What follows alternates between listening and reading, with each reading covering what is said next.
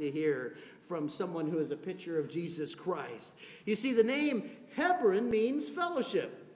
Uh, we can most readily understand that what Joseph enjoyed was fellowship with his father. Notice also the careful words used in Scripture when it says, He sent him out of the vale to Hebron. You see, it, it is as if he crested the protection of Hebron and was found in a dangerous place. His father was willing to offer his well beloved son. The son, Joseph, was willing to follow his command. Dad said, I need you, I need you to go. And he said, I'm ready to go. You know I'll go. Here am I. You know, you can almost hear old Jacob whisper to himself, Surely they'll receive my son. Surely they see his heart. Surely they can appreciate his spirit is right. They're going to receive him. Sounds a lot like the way uh, you would have expected people to receive Jesus Christ. Yet that's not the case, is it? In Mark chapter 12, Jesus told the parable of a man who had entrusted his vineyard to some stewards, but they had taken possession of it as if they were owners. They had killed the servants uh, that they sent. So finally, he sent his own son. Notice Mark chapter 12. Mark chapter 12, notice verse 6 with me. Mark chapter 12, verse 6. Having yet therefore one son, his well beloved, he sent him also last unto them, saying, They will reverence my son. But those husbandmen said among themselves, This is the heir. Come, let us kill him, and the inheritance shall be ours. I'll tell you, when you study the Bible, compare Scripture with Scripture, you'll find out often that much of what you read in the New Testament can be drawn from Old Testament truth. Joseph was the son that was willing to go. I'll throw this one out for free. Are you willing to go when God calls you? Shechem was the place to which he would be going. He was, he was a uh, it, it, was a place of bad memories for Jacob and his family. It was a place where uh, Dinah, Jacob's daughter, had lost her moral innocence, and where Simeon and Levi lost their moral integrity. It was where they had slaughtered the men of Shechem. To such a dangerous place, Joseph quickly said, Here am I. He didn't pause, he didn't stop, he didn't stutter, he didn't delay he said, Here am I. When the Lord says to you, I need you to go, what should be the response? Here am I. Well, wait a second. Let me stop and think about it. Let me kick it around a little bit. You know, life isn't so easy where you're asking me to go.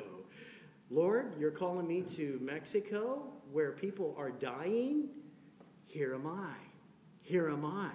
You want to know what it's like to look in the face of a missionary like Larry Lilly, who, without even hesitation or any regard for his own life, said, The Lord has called us to Mexico, and we'll only leave when the Lord tells us to go.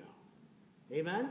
Mm. You know, this is right after he hears of missionaries who were killed on the mission field in their own home.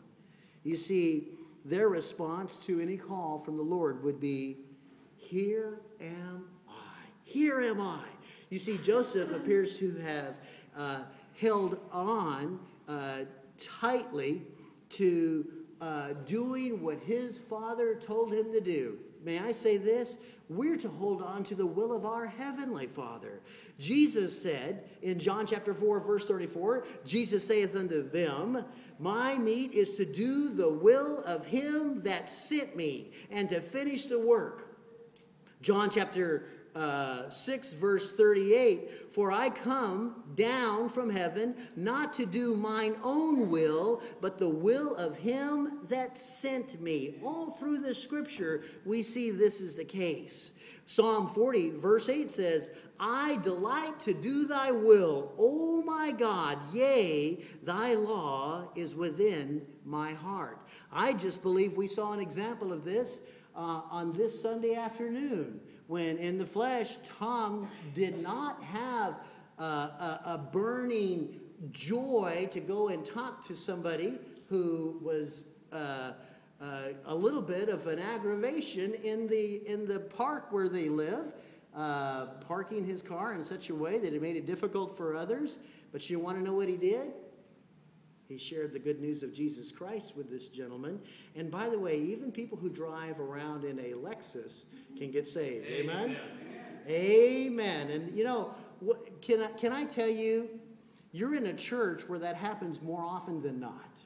You're in a place where people do that because they know that's what they need to do. Not, a, not because we're always having a warm and fuzzy feeling and we're thinking, oh, that's the neatest, nicest person in the world. I just want to I just want to visit with them and talk with them and witness to them. Sometimes it's going to be someone you don't want to talk to. It's going to be someone you're not that interested in, in going to. But the Lord will say, go. And you'll say, here am I. Here am I. I just want to delight my Father. I want to do what would delight him. You see, with great abandon, Joseph was not only resolved to do the will of his father, but it was it was his great joy to do so. You see, Joseph wanted to please his father. Joseph found pleasure in pleasing his father, not in doing what, not in necessarily the task that was at hand. He had no joy in that. He knew. He had kind of got a sense that, uh, you know what? They don't like me. But he went, and he did because he wanted to please his father. The Bible says, So he sent him out of the vale of Hebron and came to Shechem. He went. He went. He made up his mind and he did not delay. Right away, he did what he was supposed to do. And you'll notice no return. No return. Joseph came to Shechem. The name Shechem actually means shoulder. Uh, it brings to us the understanding that Shechem is a, a place of bearing burdens. You know, many in this room can talk about heavy weights on their shoulders. Joseph left the Vale of Hebron and all of its fellowship to willingly come to a place, this place of Shechem, and begin to be the bearer of a burden, not his own. This is a perfect picture of what Christ did for us. Christ came he came for you and I. 1 Peter chapter 2 verse 24, who his own self bare our sins in his own body on the tree, that we, being dead to sins, should live unto righteousness, by whose stripes ye were healed. You know, we talked about in Sunday school the fact that those young Hebrews, those young Jewish converts, or finished complete Christians were having a tough time uh, with their salvation. Can I tell you how people got saved early on in the first century uh, before we had the completed New Testament by the Old Testament? That's exactly how you would uh, lead uh, someone who is steeped in Judaism to the Lord. You would turn to, for example, Isaiah 53, and you would read verses like verse 4 Surely he hath borne our griefs and carried our sorrows, yet we did esteem him stricken, smitten of God, and afflicted. But he was wounded for our transgressions, he was bruised for our iniquities, and the chastisement of our peace was upon him and with his stripes we are healed. All we like sheep have gone astray. We have turned every one to his own way, and the Lord hath laid on him the iniquity of us all. May I tell you, I've had Jewish rabbis tell me that they actually pass over this scripture. They don't, they don't try to explain it away, they don't even read it. And you will see shock and awe when you actually read this to someone. And I can tell you over and over again that, that, that if you want people to know the same Savior that you know, you need to be able to show them from the Word of God who He is. And I got to tell you, these verses are very powerful. Jesus continues to be the burden bearer for all who come to Him. I, I'm, I'm one who knows that I'm thankful for a Savior who bears my burdens. Matthew chapter 11, verse 28 Come unto me, all ye that labor and are heavy laden, and I will give you rest. Take my yoke upon you and learn of me. And for I am meek and lowly in heart, and ye shall find rest unto your souls. For my yoke is easy and my burden is light. So let's kind of refocus and, and, and, and evaluate this story in light of Scripture and see a loving father who sends a obedient son to a disobedient family. Wow, that sounds a whole lot like the world in which we live in. We see his own received him not. His own received him not. And may I say this? God is still in control. God is still in control. He was obedient. He did what his father asked him to do. He found joy in doing so, and he knows that God is in control. Notice again Genesis chapter 37. Genesis 37, notice verse 18. And when they saw him afar off, even before he came near unto them, they conspired against him to slay him. And they said one to another, Behold, the dreamer cometh Come now, therefore, let us slay him and cast him into some pit, and we will say, Come, uh, Some evil beast hath devoured him, and we shall see what will come, what will become of his dreams. Now, when you read that in a two dimensional way, you may not get all that's being said here, but they are smirking, they're snotty, they're mean, they, they have a spirit that is so wicked. You see, the picture, the picture of Jesus and Joseph are obvious.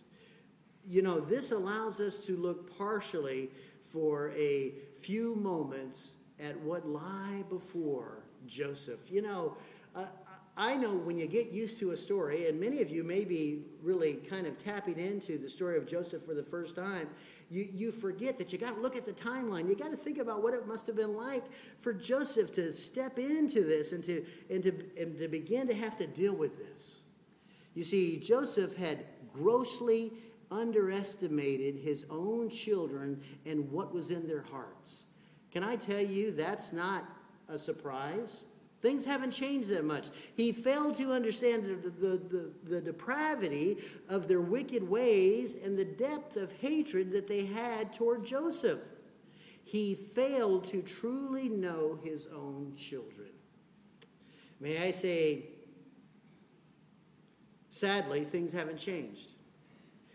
We almost, uh, uh, to I would say to a person, you could ask anybody in this room if they've ever talked with someone about a, a wayward child and the parent never could quite get wrap their brain around the fact that their child was so gone, so lost, so far away. That's what we see happening. And all through the Bible, by the way, you'll find good men, godly men, uh, making mistakes with rotten children, not understanding, not appreciating how bad things are. You see, not just our children, but the human heart which these children obviously possessed. The, the, their, their hearts were black. You see, passive parenting appears to be the model left for us by Jacob.